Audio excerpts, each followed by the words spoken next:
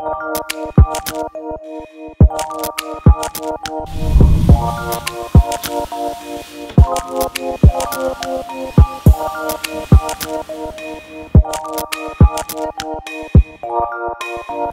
is currently the color of the 2000 R1 project bike. This isn't factory blue and personally I think it's ugly.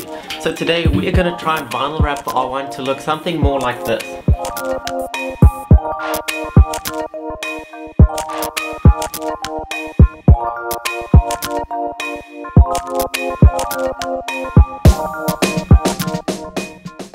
I've already attempted a few smaller pieces to get an idea of what it takes to vinyl wrap parts and to get an idea of what the bike will look like. So to wrap this R1 we had to pick up a few things first because I have never wrapped anything in my entire life. So this is the look that we are trying to achieve excluding the red seats and the red bits here but red front mudguard, rear hugger and belly pan and these bits here.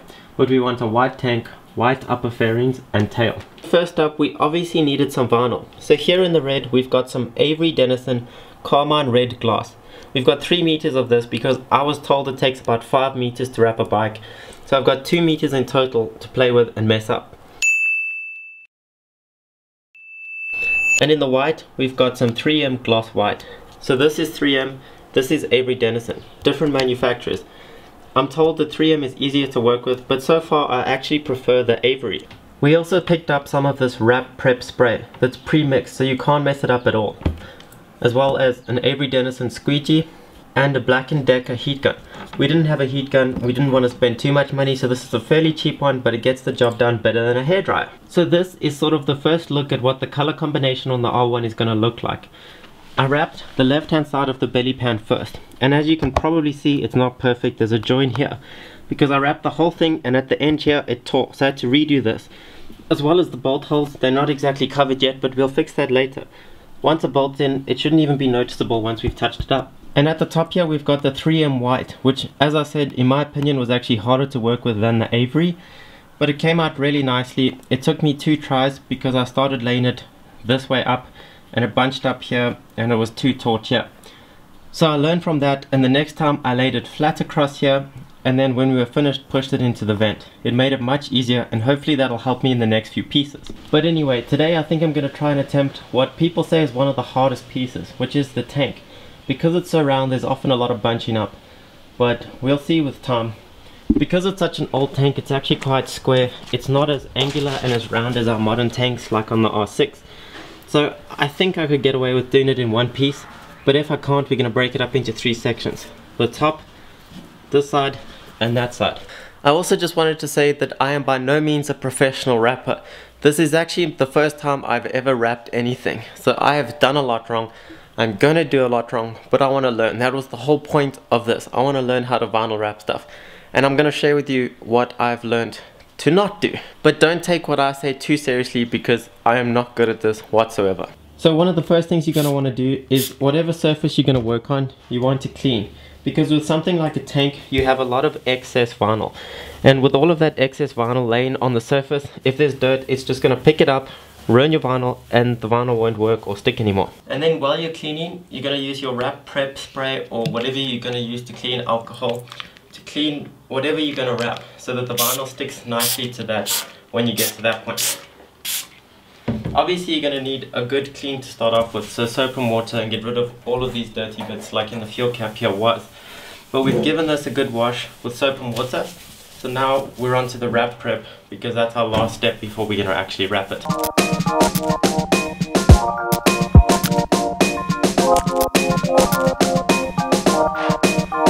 Once the tank is clean, we can start to decide how much vinyl we're actually going to need. So we're going to measure like this, see how much it is. For instance, from here to the edge is 75 centimeters, and around that way it's about 80 centimeters. But I'm going to leave room for error because this is one of my first few times doing this. Plus, taking into account the edges, the dips, all of that. So we're going to leave 10 centimeters on each side. That's probably too much for a professional wrapper, but for me, I'm hoping it's enough. So this is going to be the single piece that we're going to attempt to wrap the tank in.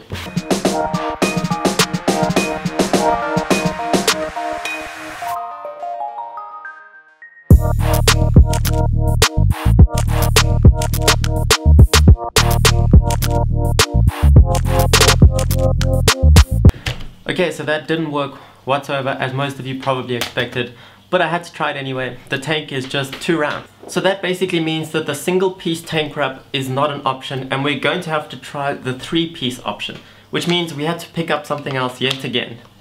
This is 3M knifeless tape. Now what it is, is basically a thin piece of tape with almost like fishing wire down the middle. So you lay your tape down, put your vinyl over it and then pull the fishing line out. And that cuts the vinyl exactly how you laid the tape.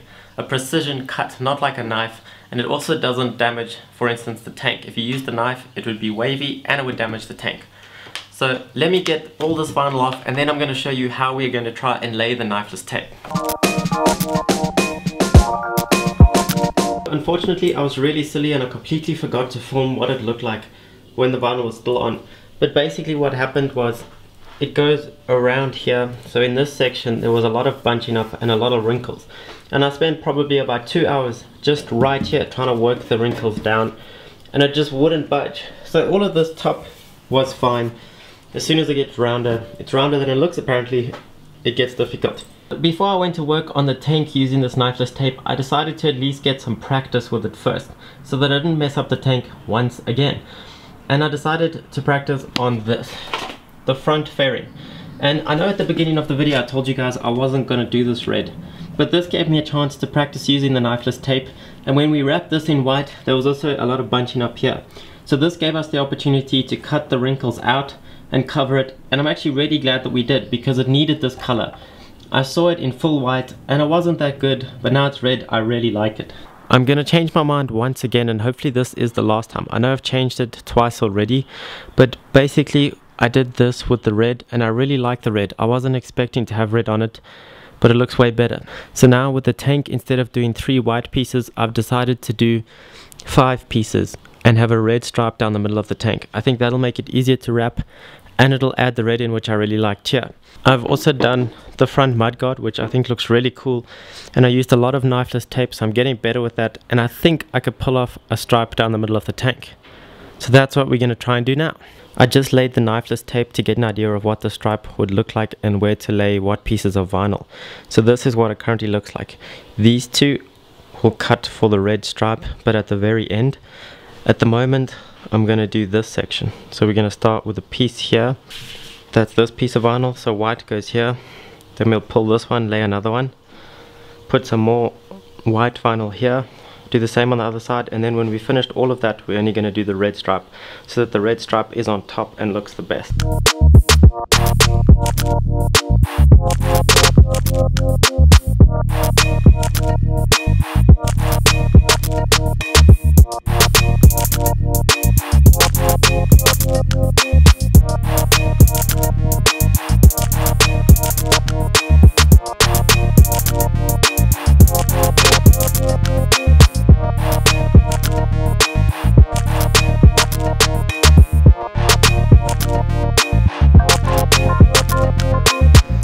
And this is what the finished tank looks like amongst some of the other finished pieces. And it's almost starting to look like a red and white motorbike and not this ugly blue anymore. I'm really happy with how it came out. The knifeless tape worked perfectly. It got a really clean and straight cut. But now we have a few more pieces to put back on the bike. We can put the fuel cap back in. As you saw, I put the lights in and the windscreen on. So it's slowly coming together.